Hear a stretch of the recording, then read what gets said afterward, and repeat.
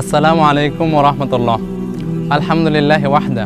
ওসালাতু ওয়াসালাম আলা মাল্লা নাবিয়া বাদা। সবাইকে স্বাগত জানাচ্ছি লাতা হাসান মিডিয়া। আজকে আমরা চমৎকার একটি জিকির সম্পর্কে জানব। আমরা যাবতীয় যত ইবাদত করি, আমাদের একটা লক্ষ্য থাকে, আমরা আল্লাহ সুবাহতাল্লাহ সন্তুষ্টি অর্জন করব। এবং আল্লাহ সুবাহতাল্লাহ আমাদের উপর সন্তুষ্ট থেকে আমাদেরকে জান্নাতুল ফিরদাসে দাখিল করাবেন। এটা আমাদের সকল মুমিন মুত্তাকিদের প্রত্যাশা।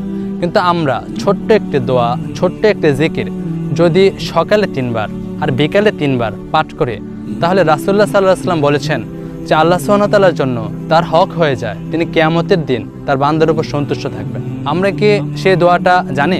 আমরা সকলে যাতে সেই দোয়াটি পড়ার চেষ্টা করি। এই দোয়াটি এসেছে ইবনে মাজা, মুস্তাদে আহমদ, আবু দাউদ এবং নাসাইতে। আর দোয়াটি হলো, রদিত বিল্লাহ রব্বা ওবিল ইসলাম দিনা। ওবি মোহাম্মদিন সাল্লাহ আলহি ওয়াসাল্লাম নাবিকিয়া।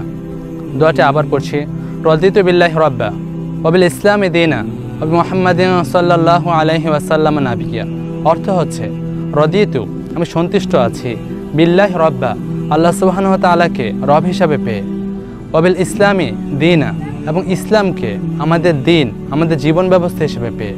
অবি মোহাম্মদিন সাল্লাহ আলহি ওয়াসাল্লামা নাবিয়া। মোহাম্মদ সাল্লাহ আলাইসাল্লামকে আমাদের নাবি হিসাবে পেয়ে। ছোট্ট একটি দোয়া। কিন্তু প্রাপ্তিটা চিন্তা করেছেন কেমন দিন আল্লাহ সুবাহতালার উপর ওয়াজিব হয়ে যাবে।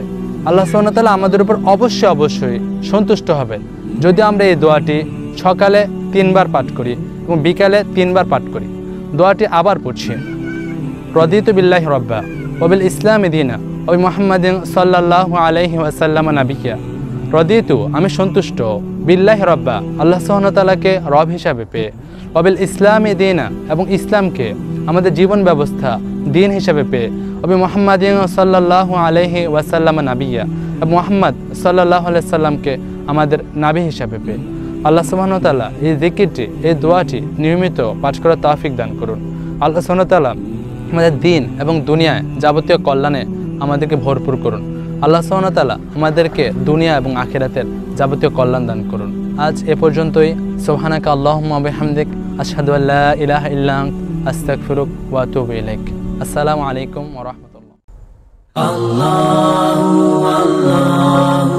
আল্লাহ.